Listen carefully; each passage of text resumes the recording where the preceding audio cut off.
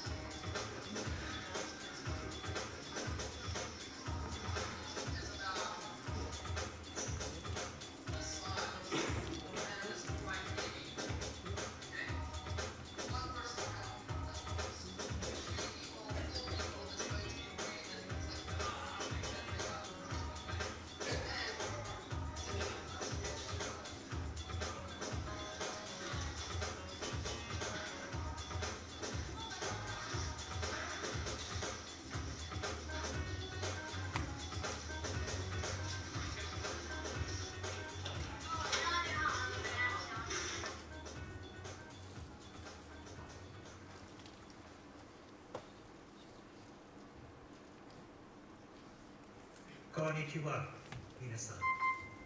私はテールのティム・ディアボーと申します。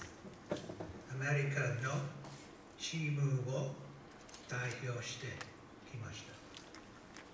この旅は日本の皆様から素晴らしい賞をいただき大変嬉しく思います。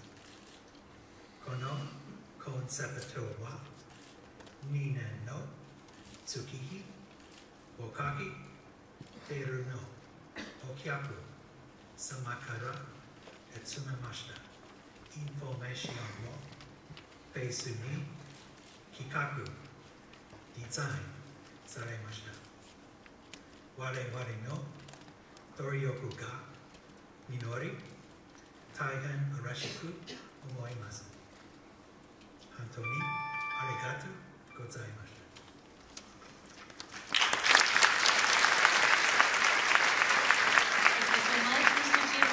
デル株式会社エクスペリエンスデザイングループ台湾インダストリアルデザインストラテジストティム・ディアボン様にプレゼンテーションを行っていただきます。